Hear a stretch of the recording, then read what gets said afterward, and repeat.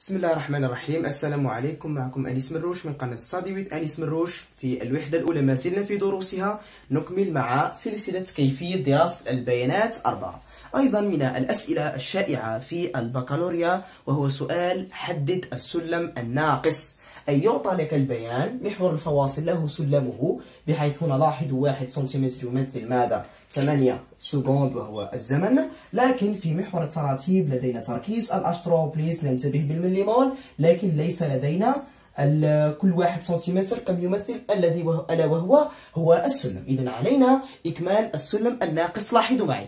دائما يعني قبل هذه الأسئلة لأنني اقتطفت هذا السؤال من بكالوريا 2014 تقني رياضي دائما ماذا؟ القيمة القيمة يعني الكبرى أو لما t يساوي الصفر إن كان البيان يعني نازل القيمة لما t يساوي صفر لتركيز الأشتروبليس قمنا بحسابها في السؤال السابق وجدناها 10 أس ناقص 2 مول. يعني نكون حسبناها. يعني الهدف تاعنا هو الآن ماش؟ ليس ليس بماذا؟ ليس بحساب ماذا؟ تركيز الابتدائي للاشتروبليس إنما تحديد السلم الناقص. دائما اذهبوا ماذا؟ لاحظ معي. لدي اذا اشتروبليس صفر هنا. لماذا؟ لأنني في اللحظة يساوي صفر اشتروبليس صفر. وجدناه كم حينما قمنا بالحساب؟ 10 اس ناقص 10 اس ناقص 2 مول لكن ننتبه. آه جيد. إذا لكن هنا في البيان ملي مول. وبالتالي علينا تحويل هذا إلى الملي مول. بضربه في 10 أس بضربه في 10 أس 3 10 أس ناقص 2 في 10 أس 3 تعطي لنا 10 لكن ملي ملي مول. على اللتر لأنه تركيز. عفوا لأنه تركيز. أيضا هنا تصبح كم؟ 10 ملي مول.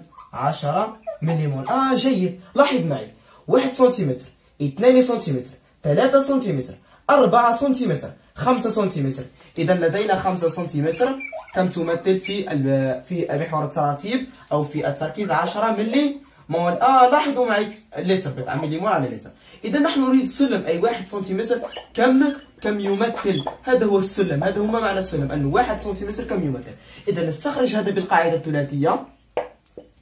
هذا في هذا 1 سنتيمتر في 10 على 5 كم تعطي لنا؟ 2 إذا 2 ملي مول على اللتر. إذا 1 سنتيمتر يعطي لنا 2 ملي مول على اللتر. هذا هو السلم. وهذه الفكرة.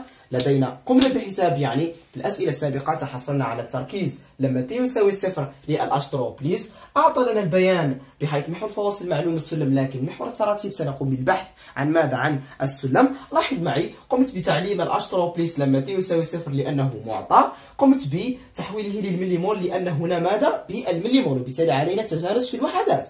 هنا إذا علينا آه، تعيين هذا بالمليمول. بعد ما عيناه وجدناه أنه ماذا؟ 1 سنتيمتر 2 سنتيمتر 3 سنتيمتر 4 سنتيمتر 5 سنتيمتر.